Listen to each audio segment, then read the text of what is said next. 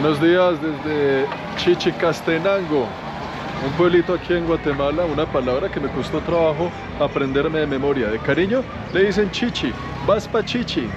Chichi empieza aquí, Chichicastenango. Hoy es domingo y este es un lugar interesante porque los domingos se le da vida a lo que sería uno de los mercados más grandes de América Latina. Casi 3.000 puestos de todo lo que se imagine. Un mercado en su gran mayoría netamente indígena, que vamos a explorar en este momento mientras le damos una vuelta a esta interesante ciudad, a su mercado, a las costumbres maya indígenas de esta región. Entonces, bienvenidos a Chichi, a Chichicastenango, Guatemala. Siga por ahí mi hijo que se ha puesto y acompañadme.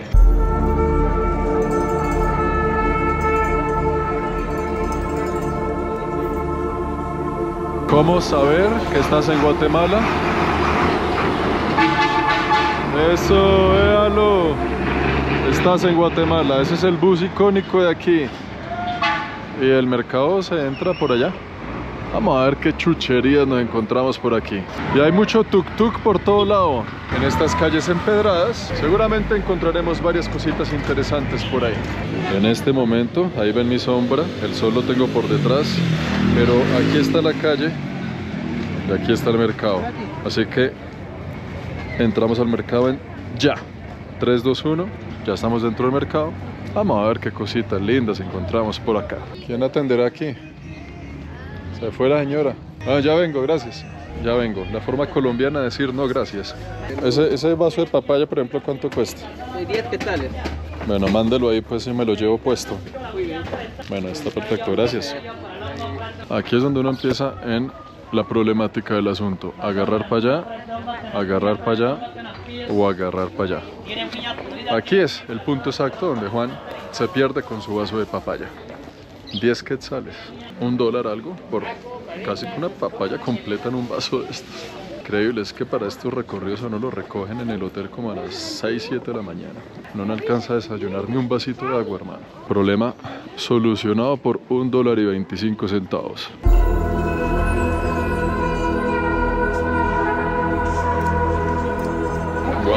Esto está bien interesante porque miren alrededor pura gente, puro comercio, puras cosas, personas, frutas, verduras, flores, accesorios, cosas y de repente usted mira para arriba y ¡boom! La iglesia. Amigo, la iglesia la hemos encontrado. Este es un lugar muy interesante, esta iglesia. No solo porque aquí hacen todavía varios rituales maya, como este de las velas, donde cada color representa algo diferente. Depende de la petición que usted quiera tener aquí frente a su, a su Dios, a su deidad. Y hoy domingo, pues vea, ahí están haciendo precisamente esta ceremonia de las velas, que es muy importante para ellos. Y alrededor todo el cuento de, del mercado alrededor de la iglesia. Pero es que vamos a subir para que se den cuenta. Usted sube aquí, vea eso como se ve de fondo.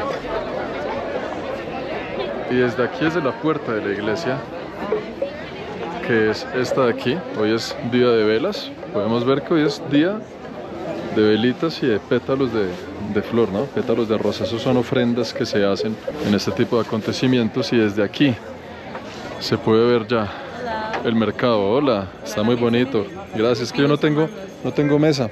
Para regalar a su mamá. No tengo ni mesa, ni casa, ni nada. Y vean aquí desde la iglesia cómo se ve esto. Uno de los mercados más grandes de América Latina, si no, el mercado indígena más grande de América Latina, según varias fuentes que investigué. Pero usted bien sabe que pues todos los lugares del mundo dicen yo tengo lo más grande de, ¿no? Así que es muy difícil saber si este sí es el mercado más grande de América Latina o no, es difícil. Pero lo que sí podemos decir es que desde aquí se ve gigante, eso sigue bajando por allá. Todas estas carpas hasta allá, el cementerio lo tenemos de frente. ¿Sí o no, señor? El cementerio es ese de allá. Esa, esa casita blanca. Ah, bueno, entonces no estoy equivocado. Y para allá sigue pues el mercado y se conecta con todas las arterias de la ciudad porque venimos desde por atrás. Vamos a ver qué cuenta Jesus.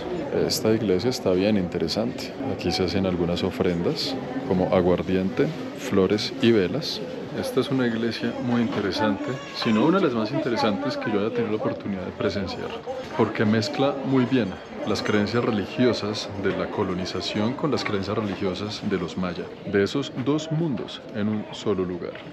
Y en una ciudad, Chichicastenango, que pues hoy en día es en su grandísima mayoría una ciudad de población indígena, población que viene de los mayas. Y eso la hace un punto clave para cuando usted venga a visitar este país, anótelo ahí. Este es el tipo de lugares que lo hacen a uno sentir que de verdad estamos viajando. Estamos lejos, aunque estemos cerca, ¿no? Porque sigue siendo nuestro continente, sigue siendo América Latina, todo el cuento. En español, se supone, pero todas las voces que escucho alrededor de la gente de aquí no es en español. Pero estamos, digamos que en nuestra casa de alguna forma, ¿no? Sin ir tan lejos y se siente uno como si estuviera realmente lejos viajando en un lugar bien exótico. Bolsa, bolsa, bolsa, bolsa, mochila, mochila, mochila, mochila y bolsa. Qué lindas máscaras tiene usted. Diferente precio, ¿cuál quiere? Ah, estas tortillas son para vender aquí. Sí. Este es el restaurante, el área de comidas. Es un restaurante grande, pues casi que al aire libre se puede decir, donde venden los almuerzos. Todavía está muy temprano para el almuerzo. Las 10 de la mañana, 10 y media. Pero vean esos entonces desayunazos. Eso sería como como una merienda. Pollo frito con papas, con arroz, con salsa, con de todo. Hay muchas máscaras. Es como una máscara muy tradicional de aquí, que son todas estas máscaras así de colores, de animales. Sabe que cada lugar del mundo tiene sus, sus mascaritas, ¿no? Y son muy bonitas, a mí me gustan, en realidad buenas. Máscara, sí. Vamos un amigo por precio. Por precio, pero usted mira, pero uno. No, no tiene la, la máscara de Mayora. Mayoras Mask. El que sabe, sabe. Hola, niño. ¿Perrito amable o perrito mordelón? Tiene cara que es mordelón. Tiene cara de déjeme en paz. Aquí llegamos a lo que parece que es el cementerio, ¿sí o no? ¿Cementerio ¿Es este? No, Entonces, ¿esto qué es? esto es una iglesia. Ah, es otra iglesia. ¿El cementerio dónde queda? Aquí venga, le acompaño. ¿Me ¿Va a acompañar? Bueno. El chico tiene cara de que puedo confiar en él. Acabo de conocer a este chico que me va a acompañar al cementerio. Y pues, no teniendo mucho más que explorar por aquí, vamos a aceptarle la invitación. Ah, ya lo vi, ese es allá enfrente. Ah, wow, es súper ah, mía. Allá derecho. Bueno, aquí ya salimos de la parte del mercado. El mercado quedó atrás. Estamos entrando en las arterias profundas de la ciudad. Chichicastenango, ¿sí o no? Sí, chicos. ¿Usted cómo se llama, hermano? Mi nombre es Tomás. ¿Tomás? Sí. Igual como la iglesia, que aquí hay tenemos dos iglesias. La otra que está de Santo Tomás y la de donde O está. sea, usted se llama como el santo. Sí. Aquí tenemos cinco santos. Santo Tomás, San Miguel, San Sebastián, San, San Santiago, San Lucas. ¿Y usted también tiene poderes como Santo, San Tomás o no? No, ¿Cuál es su superpoder? nada. ¿Ninguno? No. Usted tiene cara de superhéroe, hermano. ¿Cómo así? El rojo está en el blanco, los huesos y la piel. Bueno, ahorita me vuelve a decir eso cuando estemos allá porque ya se me olvidó. ¿Y dónde anda su familia, hermano? ¿Usted qué hace por ahí solo, por ahí andando? Pues miren, no, es que no, mi mamá y mi papá andan vendiendo así típicas, pero ahorita no vendimos. Entonces, ¿dónde están? Están en la casa. ¿Están en la casa descansando? Sí, descansando, pero como nosotros todos los días vendemos. Es que mi papá vende gorra y yo esto con cuidado. Cuidado con el carro. ¿Y ¿Qué es lo que usted vende? Muestra, deje ver. Ah, están bonitos sus lapiceros, vea. Paradores de libros. ¿Y ese, ese palo que es una flauta o qué? Sí, es una flauta. ¿Sí sabe tocarlo o no? Sí.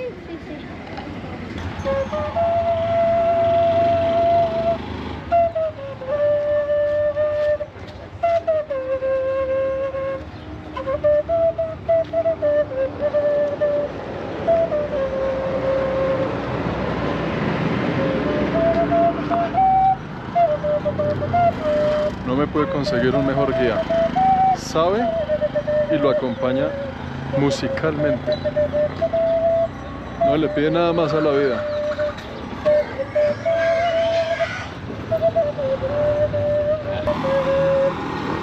Bravo. Muy bien, hermanos. Está listo ya para la Sinfónica de Guatemala. Están las escaleritas ya para subir, ¿no? Bienvenidos pues al cementerio de Chichicastenango. ¿Cómo llama este cementerio? ¿Tiene nombre? Un cementerio de colores. El cementerio de colores. Cada color representa algo. El amarillo, el sol. El negro, la oscuridad. El rojo, nuestra sangre. El blanco, nuestros huesos. Ah, El verde, la naturaleza. ¿se entendieron, no? El cementerio de colores no es solo por hacerlo colorido y bonito y ya. Tiene significado, a ver si me acuerdo. Vea, amarillo el sol, el rojo la sangre, el negro la oscuridad, el blanco son los huesos, como estos huesos que son columnas de este mausoleo. Y así sucesivamente. Está bien bonito esto. Creo que es el cementerio más colorido que yo haya visitado en mi vida. Yo de Colombia. Oh, ¿Qué parte de Colombia? De Bogotá, de Medellín. Ah, usted sabe geografía de Bogotá. Oh. Gracias. Hay algunas tumbas que son pues pequeñitas, ¿no? Pero así sean pequeñas, le meten su colorcito a la situación. Hay personas que hay, algún, hay personas que tienen dinero, hay algunos que no tienen dinero. Los que no tienen dinero ya solo, ya solo hacen el entierro, ya le echan tierra, Sin color, sin color, no alcanza para la pintura. nada. Ah, bueno, aquí tenemos un pasadizo. Metámonos por ahí a ver qué encontramos. Pero miren las tumbas como son. Así las cubren un poquito. Con cemento, porque eso es puro cemento. Si esto es puro cemento, después ya lo pintan. O sea que esta es una familia que tenía para el cemento y la pintura. Ajá. Tenía presupuesto. Pero desde aquí se ven bien los colores. Un poco más. Uf, estos son de los colores antiguos. Colores antiguos y mausoleos que para acceder toca como meterse así porque es un abismo. Y aquí uno llega a este mausoleo que en realidad, más que mausoleo, esto es un baño público. Huele, huele a desechos, huele a orines, pues en todos los mausoleos del mundo, ¿no? Eso, eso es así. Buenas. Ahí hay gente tomando Coca-Cola, pero vea que me subí por... Yo no sé por dónde, hermano. esto está... Esto, esto es una trampa. Demos la vuelta por aquí, que ahí parece que están haciendo como una especie de ceremonia o qué. No, las ceremonias están atrás. Lo que están haciendo ahorita es una tumba para un difunto. 1, 0, 0, 0. Están ahí visitando algún difunto. Entonces el plan, sin tener que preguntar, yo creo que es muy simple de entender, ¿no? Viene la familia con sus Coca-Colas, con su comida y deciden hoy domingo venir a visitar a un difunto. A la abuela, al abuelo, a quién sabe quién. Vienen ahí a pasar un rato con sus familiares que descansan en paz aquí. Tenemos fuego, hermano. ¿Usted sabe por qué hay tanta candela ahí? Es una ceremonia maya. Es una ceremonia maya. Ceremonia no es por gusto, es por el viaje, por dinero, por la salud que hay en los Estados Unidos. Ah, y eso son puras velas, ¿no? Ah, pues esta es la misma ceremonia que estábamos viendo allá arriba en la catedral, que está allá, en la iglesia donde todo el mundo ponía las velitas. Es lo mismo porque sí huele a cera de vela, está toda derretida. Entonces ahí se pide por la salud, por el dinero, la familia y así. Una ceremonia maya, ¿sí o no? Y allá al fondo hay otra. Y uno que otro firulais. Hola niños. Qué calor, ¿sí o no? Eh, madre. ¿Y su apellido cómo es? Calwa. Calwa. Pues es un apellido maya también, ¿no? sí. Calwa. Wow, miren esta tumba como le metieron le metieron sabor. A esta sí. En esta dijeron, si vamos a enterrar a la señora, la vamos a enterrar con todos los juguetes. Vamos a pintar, compré todos los tarros de pintura que tenga, meter aquí sus hojitas de... ¿En serio? ¿Será lo que estoy pensando? Allá y allá. Y la Virgen. Bueno, quién sabe esta hoja de qué será. No creo que sea lo que todos estamos creyendo, pero puede que sí, puede que no. Ahí hay otra ceremonia. Lo que hacen es agarrar todas esas velas y las prenden así de un golpe, ¿no? Lo que están haciendo es una petición de, es de la gente que están ahí en los Estados Unidos. Están así. Hay algunos gente que no encuentra trabajo, no encuentra nada. Entonces, ellos, ellos- los que están allá, entonces, ellos piden a ellos, los que ya, ellos ya, ya, ya están explicando. Ujú. ¿Qué idioma está hablando ahí? Es un cliché. ¿Quiche? Mm. nuestro idioma de nosotros. Están hablando en quiche y son peticiones. Por si acaso se escuchaba muy bajito lo que mi amigo me estaba explicando. Son peticiones porque muchos de ellos tienen familiares en Estados Unidos que no han encontrado trabajo y cosas así, ¿no? Entonces desde aquí en quiche se hacen esas peticiones para ayudarles allá.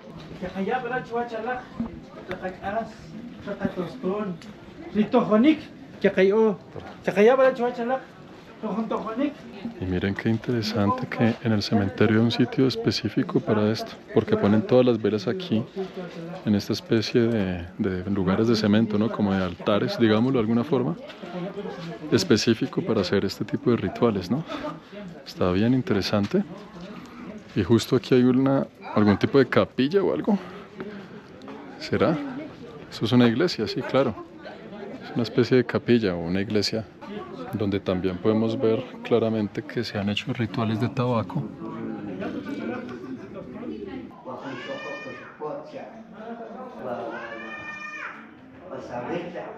Aquí ya llegamos al final, pero vea esta capilla como es de interesante por dentro. Es un ambiente bastante oscuro, tiene sus ventanas y tiene la tumba de alguien en el medio, que es la tumba de un padre muy importante de aquí. También ahí hacen sus peticiones, ¿no? Pero tiene un ambiente diferente al resto de cosas que hemos visto. ¿ah? Aquí ya se acaba el cementerio, pero mi amigo insiste que lo persigan porque dice que hay algo que me quiere mostrar que interesante que tengo que ver. Y hermano, pues yo confío en el parcero, vamos a ver qué es lo que me va a mostrar. Con cuidado por donde uno pisa porque aquí los perros van al baño, parece que este es el lugar del baño del perro. Por allá veo algo raro.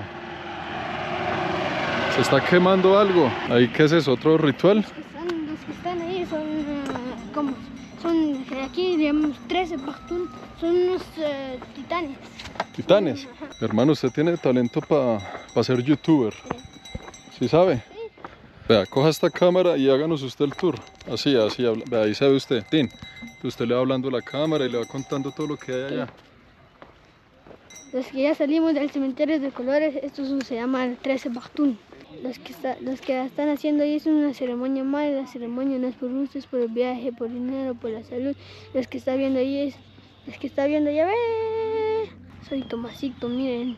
Ah, estamos aquí en Chichicastenango. Yo soy de aquí, mi nombre es Tomás. Sean bienvenidos todos aquí en el directo. Muchas gracias. Hermano, talento puro, talento innato.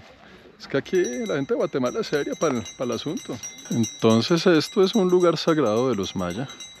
Ahí tenemos algunas figuras divinas que representan diferente tipo de situaciones. Vamos a ver si podemos entrar por aquí. Así pisando. Aquí ya hicieron su ritual. Aquí están a punto de comenzarlo. Miren esas velas tan grandes que tienen. Y la señora con el tabaco le mete candela y eso va a quedar así. Entonces usted hace su, su ritual, su petición, como el señor que está aquí que ya hace un buen tiempo está dándole a la vaina. Está bien interesante. Yo venía a conocer un mercado. Este video fue mucho más que eso. Yo dije, ah, tengo un día libre ahí bacano, vamos a, conocer el mercado, chévere, a ver qué hay por ahí. Y no fregues. Hola. Esto, esto es otro nivel de, de situación. ¿Verdad? Qué interesante. Por eso cuando uno está viajando, no planifiquen tanto los viajes. Simplemente dígale que sí a un bus que lo quiera llevar a algún lugar, dígale que sí a un chico que le quiera dar una vuelta y un paso por ahí. Dígale que sí a todo, menos a lo que le dé mala vibra, pero el resto, sí, a todo, que la vida lo lleva a unos lugares muy interesantes. Tomás, oiga, gracias por traerme a estos lugares. Muestre entonces cuáles son esos separadores del libro que tiene ahí. Estos son los separadores de libros. ¿Y a cómo los vende? Está a 20 cada uno. ¿A 20? ¿Cuántos tiene aquí? Tengo dos, cuatro, cinco, seis. 6, o sea, 160, los compro todos. ¿Ya? ¿Ya vendió? Hizo la venta del día. 10, 20. Ah, le tocó acompañarme al cajero. Sí, está bien. Bueno, le debo 40, vamos al cajero y sacamos más. Ahí tengo todos esos separadores del libro en mi mochila mientras estoy por Guatemala. Y los tendré ahí en los próximos viajes. Si usted me encuentra por la calle, pídame uno. Dígame qué libro está leyendo. Ojalá sea inadaptados, pero si no, no importa igual. Dígame, oiga, estoy leyendo tal libro, esa es la clave. Y yo le regalo su separador de libro. Tengo seis nada más, así que ya saben, aquí vendidos por el compadre que me está haciendo un excelente tour el día de hoy. ¿Ya almorzó o no? ¿Tiene hambre? Sí, ¿Vamos a almorzar? está bien, vamos. ¿En el mercado, algún lugar que sea bueno? En el restaurante. Al que quiera, vamos. De vuelta al mercado. Y es subiendo, ¿no? Esto se ve recto, pero esto está así. Vamos a buscar un lugar donde almorzar. Mi parcero ya sabe, dice, ¿no? Vamos a ver. Vamos a ver a dónde nos lleva el viejo Tomás. Está la sección de los animales. Pollitos, gallinas, patos, pavos, conejos, de todo, vea señor, sea como siete gallinas para la casa. Siga, siga, siga. Wow, mire ese gallinero. Increíble. Ay, mis queridas, si ustedes supieran que pronto van a hacer una sopa.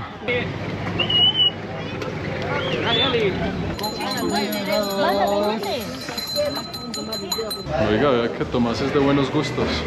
Yo pensé que me iba a llevar por allá a cualquier restaurante de la calle ahí del mercado. Pero me trajo a un restaurante fino el hombre. Es de, es de gustos caros.